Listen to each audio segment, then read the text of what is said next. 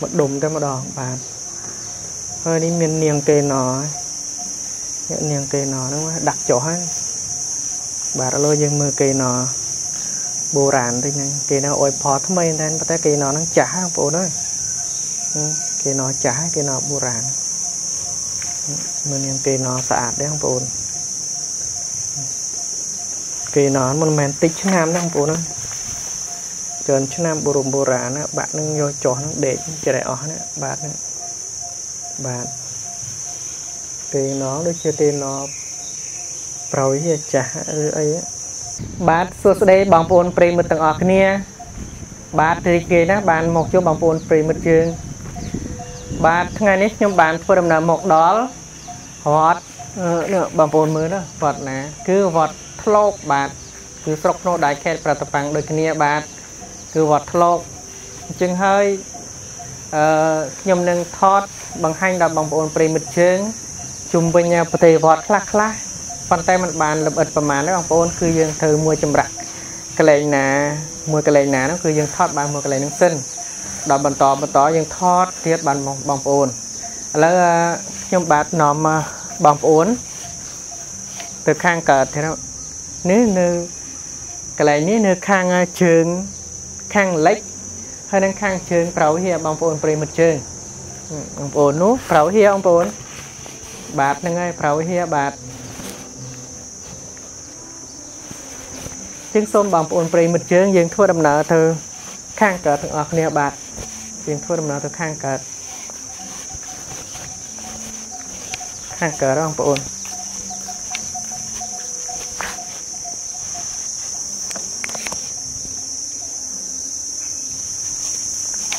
ផ្លូវត្រង់បងប្អូនត្រង់ពីពីផ្លូវថ្នល់នោះខ្លងទ្វារនោះបងប្អូនមើលបាទនឹងនឹងខ្លងទ្វារចូលហ្នឹងបងប្អូន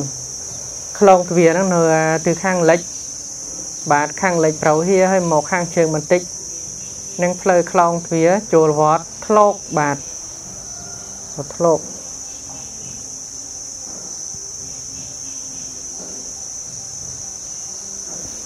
ហើយពេលនេះកំពុងដើរទៅទៅខាងកើតបាទផ្លូវត្រង់ណាបងប្អូន ក្រាលថ្មល្អស្អាតត្រង់តែម្ដងឥឡូវយើងមើលនេះបាទនេះនឹងបង្គោលតុងបងប្អូនលក្ខណៈក្បូរក្បាច់រចនាបាទអូបាទនេះមិនមែនបង្គោលតុងណាបងប្អូន គឺបង្គោលភ្លើងបាទទៅខាងលើអានយើងឃើញបាទហ្នឹងបង្គោលភ្លើងបាទ4ម៉ែត្រនៅខាងលើ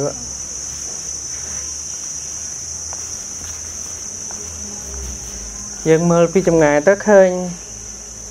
ព្រះពុទ្ធបរិមាមួយព្រះអង្គធំសម្បើមណាបងប្អូនណាព្រះអង្គលាដាចេញ ដូចជាសម្ដែងធម្មចក្របាទ លក្ខណៈជាសម្ដែងធម្មចក្របងប្អូនប្រិមិត្តជើងធំដែរបងប្អូនឥឡូវយើងធ្វើដំណើរទៅ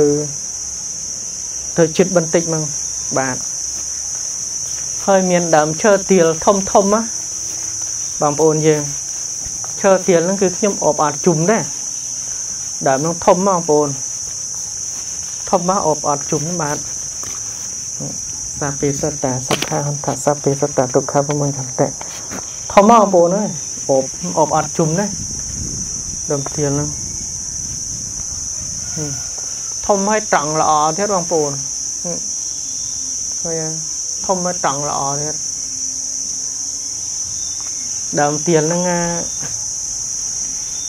ប្រែជាជិត100ឆ្នាំដែរបងប្អូនដើមទៀនហ្នឹងមិនក្រមពី50 60ឆ្នាំទេធំមកដើមទៀនហ្នឹង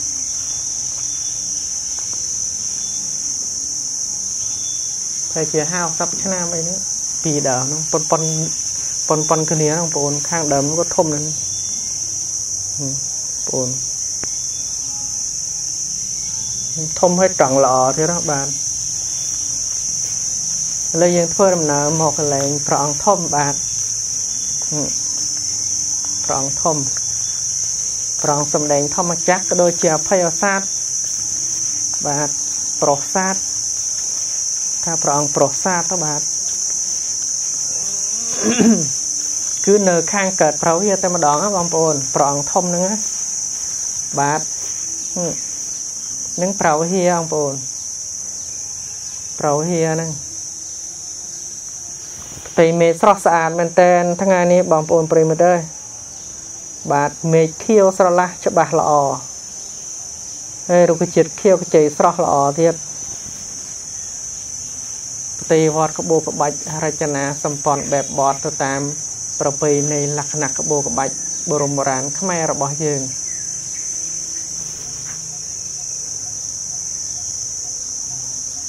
ឃើញមានលំអធម្មជាតិខាងខាងទៀតណាបងប្អូនជាដើមស្នាយអាលំអសំណដើមស្នាយបាទដើមស្នាយកាយជាដុំជាដុំល្អមែនតើបាទហើយមាន ដើមឈើនឹងមិនដឹងថាថាដើមស្អីទេបងប្អូនដឹងបងប្អូនជួយ comment ប្រាប់ផងនេះដើមហ្នឹងគឺមានកាតជាលំអដូចជារបងអញ្ចឹងបងប្អូន គឺផតបាទផតពីលិចហ្នឹងខាងជើងហ្នឹងហើយមកខាងកើតហ្នឹងផតមកខាងត្បូងទេបងប្អូនបងឲ្យចូលជាខ្លងទ្វារនេះបងប្អូនលក្ខណៈដូចជាកំផែងអញ្ចឹង ហើយមានដំបូលកន្លែងហ្នឹងមួយមួយទៀតបងប្អូនឃើញហ្នឹងណាផត់មកហើយមានដំបូលឡើងកន្លែងហ្នឹងគឺធម្មជាតិនឹងគុណជាតិបាទ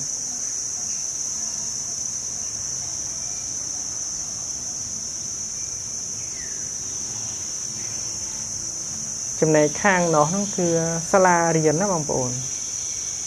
សាលារៀនណាបាទ កន្លែងហ្នឹងហើយនៅសាលារៀននៅខាងលើនោះទេបាទនៅកត់នៅខាងលើហ្នឹងក៏សាលារៀនដែរបងប្អូនយើងបាទឥឡូវយើងបងវ៉ែមកចេះជួបព្រះអង្គធំសិនបាទបាទសាធុសាធុអស់ចាចាស់ខ្លាំងណាស់បាទគឺជួបព្រះអង្គធំហើយបាទព្រះអង្គធំនៅខាងលើបាទ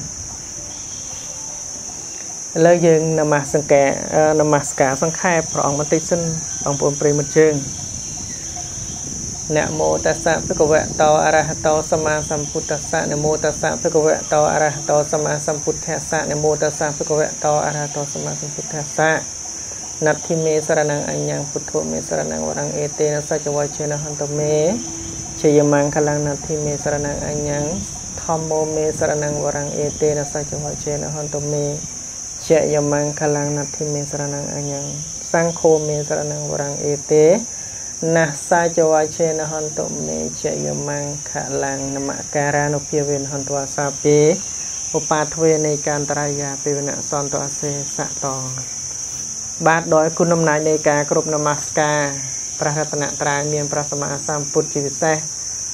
សូមស្រីសុស្ដីជ័យមង្គលបលសុខគ្រប់ប្រការចូលកើតមានដល់បងប្អូនយើងទាំងអស់គ្នាដែលកំពុងតាមដានទស្សនាអនុមោទនានេះសូមជួបតែសំណាងល្អសុខចម្រើនទាំងអស់គ្នាបាទសូមអរគុណហើយមកខាងក្រោយណាបងប្អូនអាសនៈព្រះអង្គគឺប្រការធ្វើដោយផនផតដោយប្រការឈូកញាតិញោមពុទ្ធបរិស័ទទាំងឡាយ ការឈូកនោះខាងលើទៅដល់បងប្អូនមើលច្បាស់ព្រះអង្គធំជានៅខាងក្រមបរិស័ទលេពង្រីកមកអូសបកសត្វអត់ឃើញច្បាស់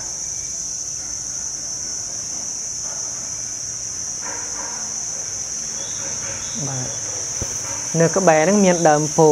បងប្អូនមានមានដើមពោល្អមែនទែនដើមពោត្រជាក់ ត្រជាក់ហើយមានស្លឹកត្រឈឹងត្រឆៃបែកមេសាខាមនោរមរីករាយសប្បាយចិត្តជាងហៅថាអារាមអារាមកលែងសបាយកលែងត្រជាក់ត្រជុំសបាយដោយធរសបាយបុគ្គលសបាយសបាយក្នុងព្រះពុទ្ធសាសនាយើងនោះគឺរួមមកនោះមាន 4ណាបងប្អូនប្រិមិត្តជើងគឺមានបុគ្គលសបាយធម្មសបាយអាហារសបាយសេនាសនៈសបាយហ្នឹងបងប្អូនប្រិមិត្តជើងបាទមានទេប្រណមនៅខាងខាងណាបងប្អូនទេវតាសម្បាហ្នឹងនេះទេប្រណមទេប្រណមឆ្វេងស្ដាម បាទឥឡូវយើងមើលឡាមុខភ័ក្រមើលភ័ក្រត្រាស្រស់ល្អអស្ចារ្យ នៃទេវតាប្រណមនៅខាងបន្តិចសិនបងប្អូនយើងមើលកន្លែងនេះឃើញច្បាស់ណាឃើញភ័ក្រត្រាទេវតាស្អាតមែនតើបងប្អូនចាំមើលយើងពង្រីកមកឲ្យបងប្អូនយើងមើលណាភ័ក្រត្រាទេវតានៅខាងខាងនេះបាទហ្នឹងហើយហើយទេវតាអមសង្ខារហ្នឹងល្អស្អាតណាស់បងប្អូនបាទ ហើយខាងក្រោមនោះគឺទលាអត់មានអីទេត្រូវការមកដេកកំសាន្តលេងក៏បាន សម្រាប់កំសាន្តលេងក៏បានបាទមកកន្លែងខាងកើតព្រះអង្គធំវិញមាន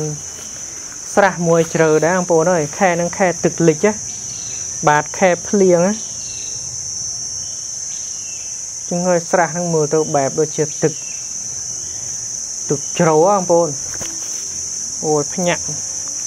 ភ្ញាក់នឹងរំអិលណារំអិលនឹងរឿងរំអិលស្អិលទេបងប្អូនអើយនេះរំអិលកន្លែងដើមថ្នោតបងប្អូនហើយមានរំអិលអញ្ចឹងហ្នឹងណាដូចជាដូចជាចរបងប្អូននឹងមិនដឹងស្អីទេចរអីចរថ្នោតអីបាទ ជ្រៅបងប្អូន ពីដំណំមនុស្សជ្រៅពីដំណំមនុស្សដឹងដឹងផុតទឹកហ្នឹងបាទ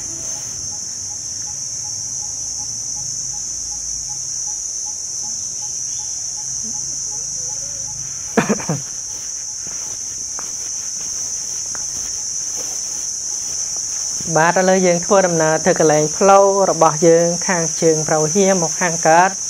យើងធ្វើដំណើរទៅខាងកើតមើល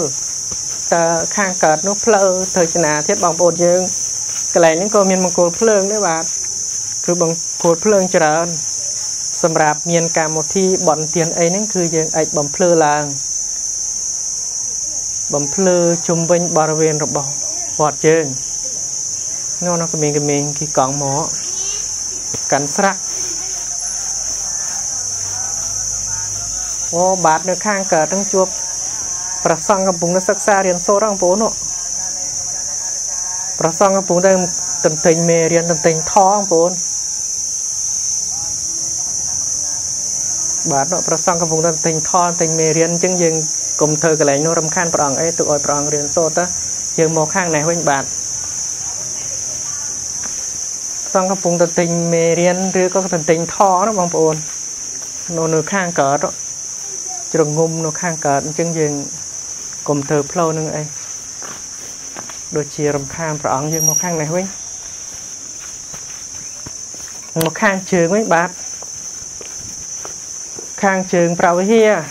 បាទ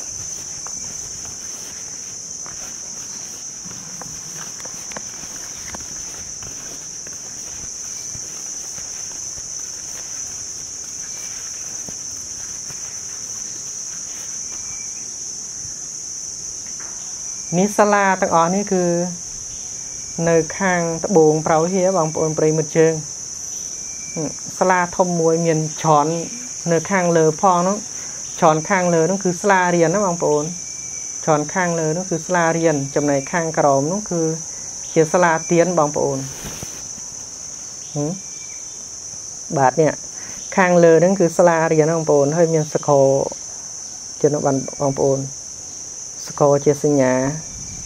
ចូលរៀនចេញរៀនឬក៏ឡើងឆាន់អីហ្នឹង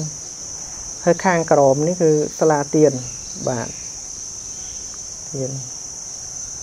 ថ្ងៃសិលថ្ងៃអីហ្នឹងពុទ្ធបរិស័ទចូលចង្ហាន់យកអីមកវត្តចូលជំនឹងបាទខាងនេះក៏សាលារៀនណាបងប្អូនសាលារៀនឬក៏កន្លែងប្រជុំហៅធម្មសុភា កន្លែងប្រជុំធំអីហ្នឹងគឺប្រជុំកន្លែងហ្នឹងដែរបាទបងប្អូនឡារៀនកន្លែងហ្នឹងមួយទៀតណាសបងប្អូនសម្បូរសាលារៀនណាបាទ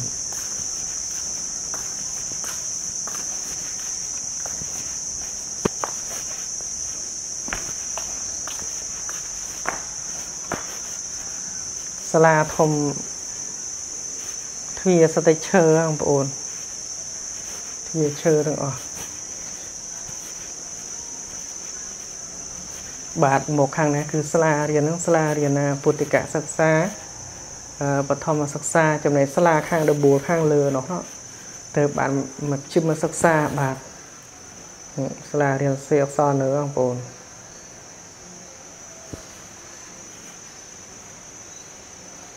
បាទតែមេស្មើនឹងប្រហែលជាម៉ោងជិតម៉ោង10បងប្អូនប្រហែលជាម៉ោង10ជាងផ្ទៃមេឃនៅស្រស់ស្អាតនៅឡើយថ្ងៃជ្រេបន្តិចប្រហែលជាម៉ោង1ហ្នឹងគឺ មានពពកខ្មៅហ្នឹងអូសមកសន្សឹមសន្សឹមមកដូចជា ថ្ងៃមុនជាងបងប្អូនមកប្រសងព្រះអង្គបានមក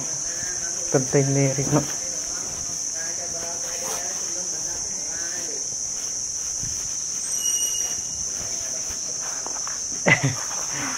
ណៅឯងគុំគ្រប់អង្គ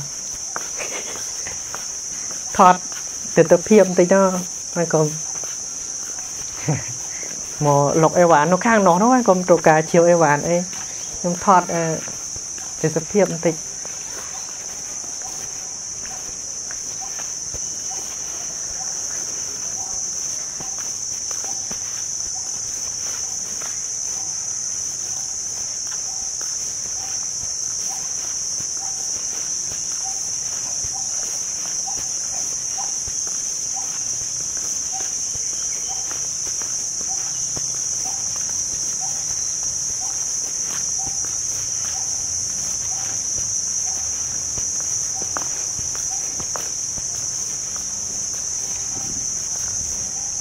បាទកន្លែងហ្នឹងយើងមើល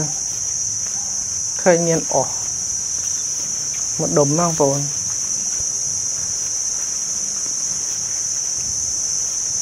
គឺប្រសងកាប់អស់ទុកដល់នេះអស់ហ្នឹងបងប្អូន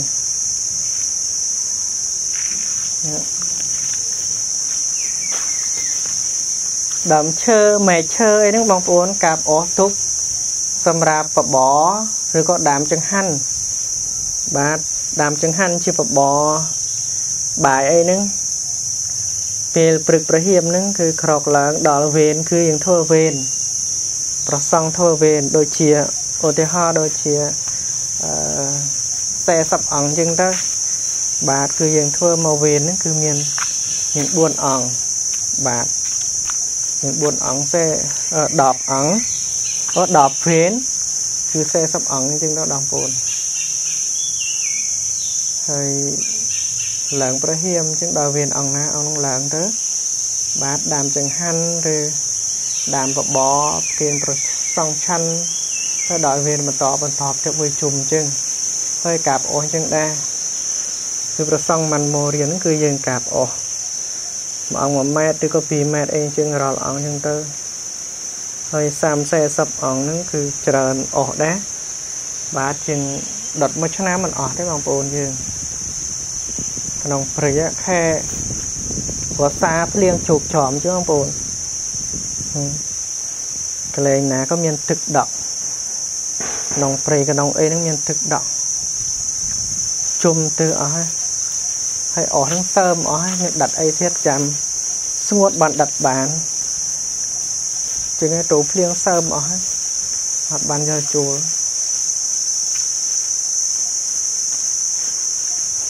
ឮសំឡេងរៃណារៃកន្លែងដើមអនៅឯវត្តវត្តថ្លោតហ្នឹងគឺរៃរៃរៃធម្មតាណាបងប្អូនមិនមែនមិនមែនជារៃកណ្ដឹងទេ ចំណែកថ្ងៃមុនហ្នឹងគឺវត្តភ្នំប្រហូតរៃកណ្ដឹងគឺអូឮសានសាបអស់ហើយបងប្អូនឡប់សំឡេងខ្ញុំនិយាយហើយចំណែករៃនេះគឺរៃធម្មតាអញ្ចឹងសំឡេងវាឮអត់អីទេវាឮឮទៅពីរោះដែរតា បាទនៃថ្ងៃមុននោះគឺវត្តនោះពុទ្ធលឺសានសាប់មែនតើបាទឥឡូវយើងឈរកន្លែងហ្នឹងយើងមើលទៅឃើញទិដ្ឋភាពល្អស្អាតបងប្អូនបាទបង្គោលតោនៅខាងលើបងប្អូន មានរាជហង្សរាជហង្សបាទជាហោតែនៅខាងមុខប្រវិហារបាទ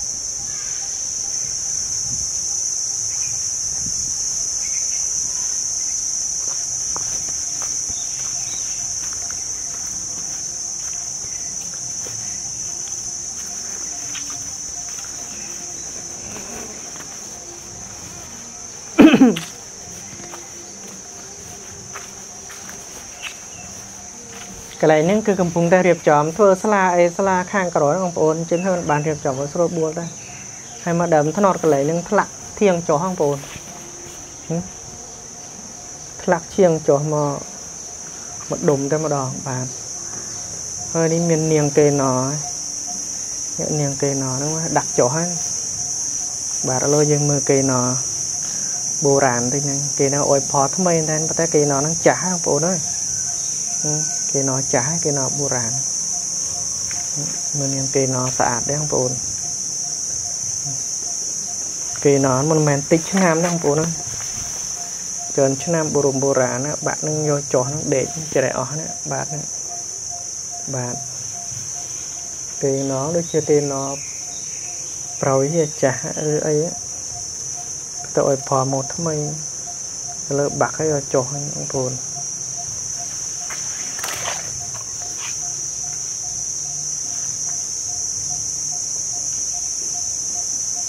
ស្អាតដែរបងប្អូនជាងតែងប្រៀបធៀបគេណគេណហ្នឹងរៀងស្លាស់ល្អស្អាតបងប្អូនមានចង្កេះរៀងរាវអីសុដន់អីមុខមាត់អីស្អាតគួរសមបាទស្អាតទេបងប្អូន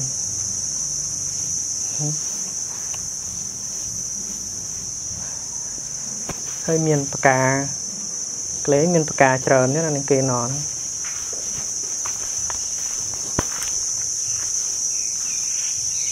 ផ្កាហ្នឹងដូចជាផ្កាស្អីដឹងហៅផ្កាអីដែរបងប្អូន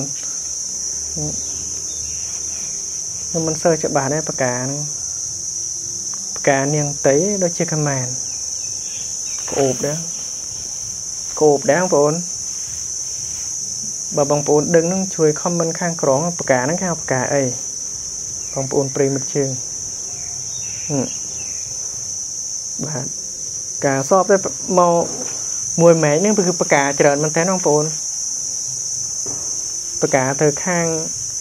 នាងកេណហ្នឹងបកាច្រើនមែនតើបាទនេះ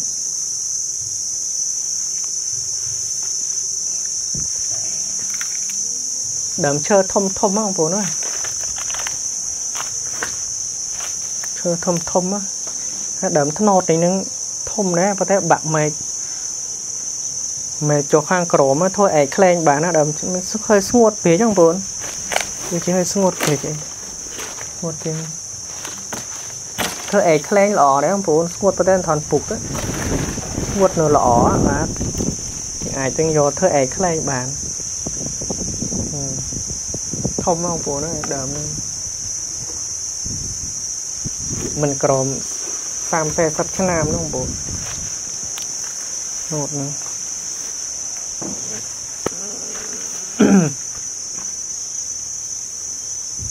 ធំកំប៉ុងតែបាទហើយមានដើមទៀលមួយដើមហ្នឹងបងប្អូនដើមទៀលមួយដើមហ្នឹងវាស់ប្លែកដែរខាងលើផ្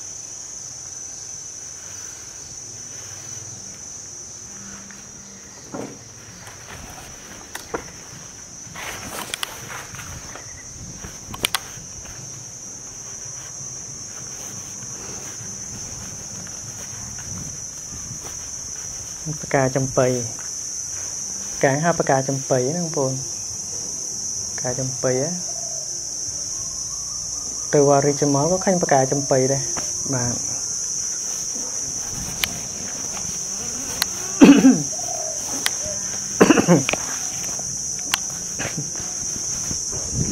បាទអរគុណដល់បងប្អូនប្រិមិត្តជើងទាំងអស់គ្នាដែលបានតាមដានទស្សនាតាំងពីដើមរហូតដល់ចប់បាទគឺពេលវេលានេះឃើញថាវីដេអូក៏ វែងដែរបងប្អូនជាងហើយមិននឹងមកចប់សូនជូនពរដល់បងប្អូនប្រិមិត្តជើងជួបតែសំណាងល្អសុខចម្រើនសុភមង្គលគ្រប់ទិវារាត្រីបាទសូមអរគុណ